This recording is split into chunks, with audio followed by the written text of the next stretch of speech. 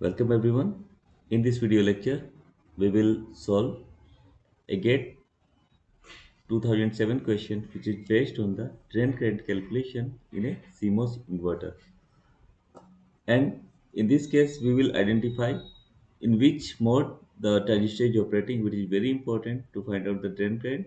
So the question is, in a CMOS inverter, the transconductor parameter for the NMOS and PMOS are given that is our Kn, Kp value, mu n, Cox, W by L of n and mu p, C, Cox, W by L of p equals to 40 microampere. Per voltage square and this corresponding threshold voltage are 1 volt. VTN and mode of VTP 1 volt. So we have to find the I current. That is our drain current. And the VDD value is 5 volt. And this value the gate value we can say the 2.5 volt so few important facts that we can say. Very very important because this one is our gate of NMOS this one arrow always signifies the source terminal. This one is source of N1 this one is our D of N1 D of N okay? And this one source of PMOS so I am writing gate of P just as a practice. D of P and this one is our PMOS so you can write PMOS and N MOS okay. So now this question is very easy. Is it either saturation and linear? But how to identify it is saturation and linear? This one is important. So okay. So that thing first i will solve then i will solve this question. Because you must have to know the basics so this one is a CMOS inverter. So what i am doing i am just making the characteristic curve okay for the CMOS inverter that is our V output and V in okay. And everyone knows the CMOS inverter characteristics look okay. This one we can say this one is a VDD okay. And this point I am saying VTN okay? So this one is a CMOS inverter characteristics. Okay? Now what we have to know for NMOS when NMOS is operating okay? And so when VGS we can say the gate to source voltage is less than VT VTN okay or here we are uh, saying the gate to source voltage is less than VTN okay? Below this point so NMOS will be in the off state okay? So this one is in the off state this one is in the off state so output will be just our VDD. So output V output will be VDD okay? So in this situation we can say this at this point I am writing here NMOS in the off state or we can say cutoff cutoff so here this one is in the cutoff state. Okay very simple. When gate to source voltage is less than VTN but we don't know in what state the PMOS is. Okay so PMOS we have to think. Okay we have to think in what state PMOS in this in this region. Okay at this at this point so now for the n NMOS we know the characteristic that, that when VDS is greater than equals to VGS minus VT is in the saturation region. This one is very basic concept. Okay.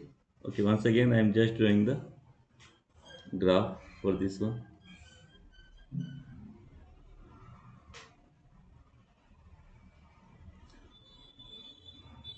Okay. So just I am writing ID and VDS. Now I am saying this point is our VGS minus VT. So above this one, after VGS minus VT, it is in the saturation and this point is in the linear region. Okay. So VDS is greater than VGS minus VT, it is in saturation region. So that's why I am writing for the NMOS. Okay. So now just think about in terms of V out and So for the time being, I am saying this point is our V out. Okay. Actually, I want to show you how to identify in which region it is operating. So when VDS is greater than or equals to VGS minus VT, suppose this one is a saturation and for linear, VDS should be less than VGS minus VT in the linear region. So I am just taking the saturation one. So I am writing here VDS is greater than equals to VGS n minus Vt n. Okay, I am writing n because this one for n more. So we can write as Vdn minus Vs of n greater than Vgn minus Vsn minus Vtn. I am writing it step by step. So this should be cancel out. Then Vdn is nothing but simply our output. So we can write V output greater than equals to Vgn is nothing but simply we can say this as a input. So V in minus Vtn. So this one is the condition for the saturation saturation region. Okay, if you know the this one, we can easily say in which area. So now I am just making one line that is our V output equals to V in. Okay, now Vtn is there. Now this equation V out equals to V in. Now if we, we have to plot, just I am plotting. This one is passing through origin. V out equals to V in. Now if we want to plot V out equals to V in minus Vtn, okay, something minus. Suppose this one is Y and X. So I am writing Y and X. Now we have to plot Y equals to X minus 1, something 1. Okay, so it will go one unit down. So directly I am writing, uh, drawing here. This value will be our V output equals to V in minus VTN. Okay. It will go down. I am not showing the lower one. Okay. Clear? So now VTN. Now what we, we will say if it is greater than V out is greater than. So V out will be more above this portion. So what we can say above this portion it will is in saturation try to understand this point. Okay.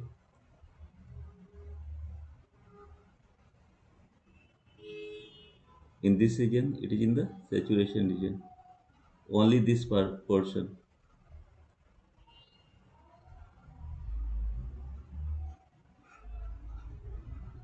So okay. So this one in this region we can say in this region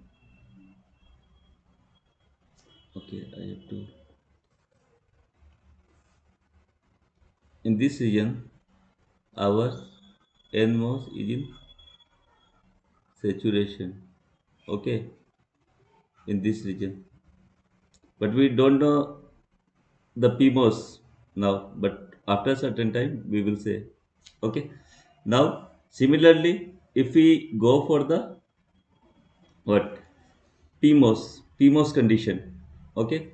So for pmos condition what we can say i am writing here for pmos pmos transistor when it is in saturation just write vsdp and what we can write the same equation but okay. Better to write VDSP will be greater than equals to same thing but just reverse the S here and D here. VDSP VSGN minus VTP everything will be same. So now in this case what we what we can write? VDSP okay. So if we solve this one or better to better to write in that fashion it will much easier vdsp okay less than equals to VDS of N minus VTP. It will much better. Write everything VDSN, VDSP, VDSN minus VTP with a opposite sign. Okay, everything will be same. This one for NMOS and this one for the PMOS.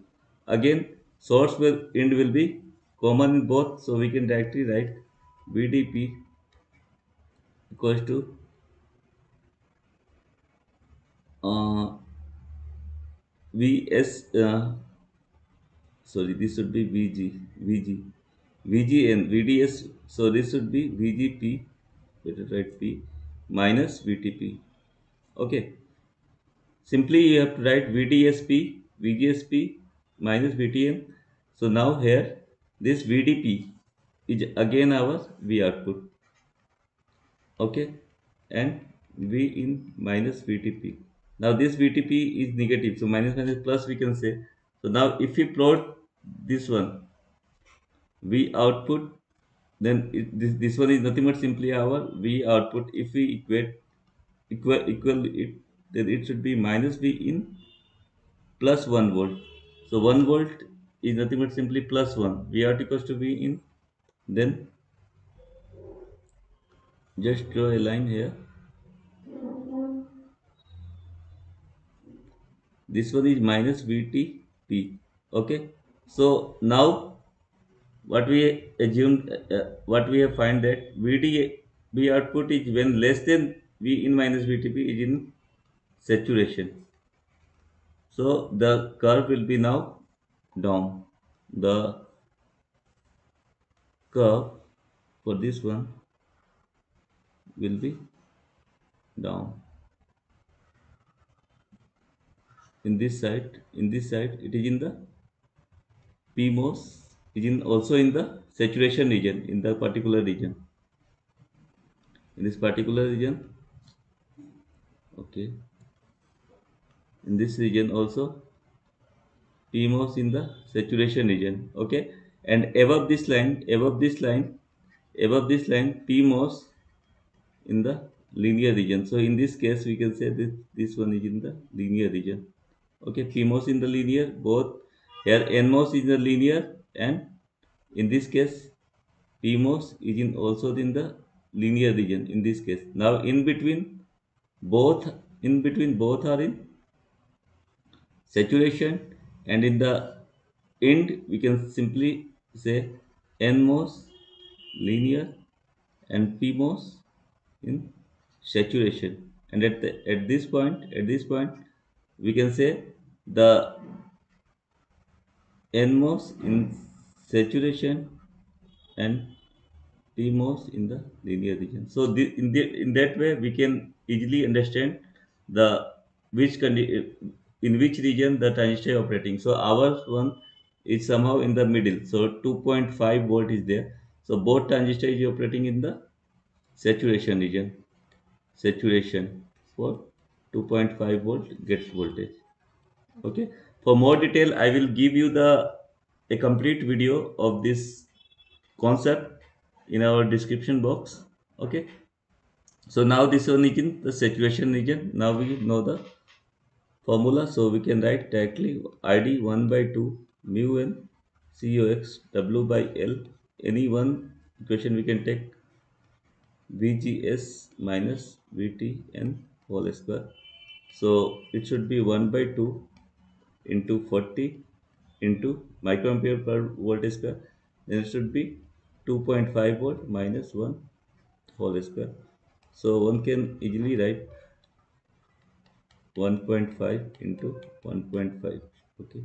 I'm doing it step by step. 100 okay? This should be cancelled this should be cancelled 2 then 5 this should be 3 so it should be 45 microampere. So id value will be 45 microampere so id or i current that is flowing through this one will be 45 microampere so this is the correct answer. So actually this diagram is quite difficult to see here. So that's why I'm just trying to make a very new diagram. Okay, I have to select the pencil first.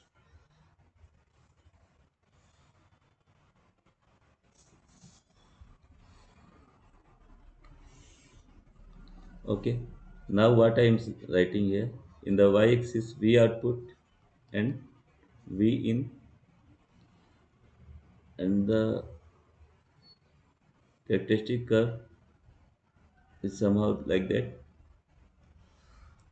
So this one is VTN okay. So here the NMOS is in cutoff and PMOS is in the linear region and now what we have this point is our the NMOS when saturation region the V output will be greater than equals to V in minus VTP. That's why it is going down. Now one more equation when we are saying this one is your minus VTP. Okay. So above this point, this above this one, I just above this point, the NMOS is in the saturation region for this particular region. Okay. For this particular region. Okay. And for the PMOS, for the PMOS, this should be our V output will be less than V in minus VTP. So here it is in the saturation region below this one. This one for the saturation condition. So this will be in the saturation. So in between both are operating in the saturation region and this in this and above this one PMOS is in the PMOS is in the linear. So PMOS linear and NMOS saturation. Okay, here both NMOS and PMOS saturation and at the end PMOS cutoff and NMOS in linear. And then in between here PMOS is in saturation and NMOS is in the linear. Because this one is a line above this one it is in saturation. So below this one NMOS is in linear region. So this one is all about I will give the detailed description of this one in the description menu. So this is all about this concept how to solve this type of question okay but how to identify it is most important in which region it particularly work. So it is all about this question. So thank you for watching this video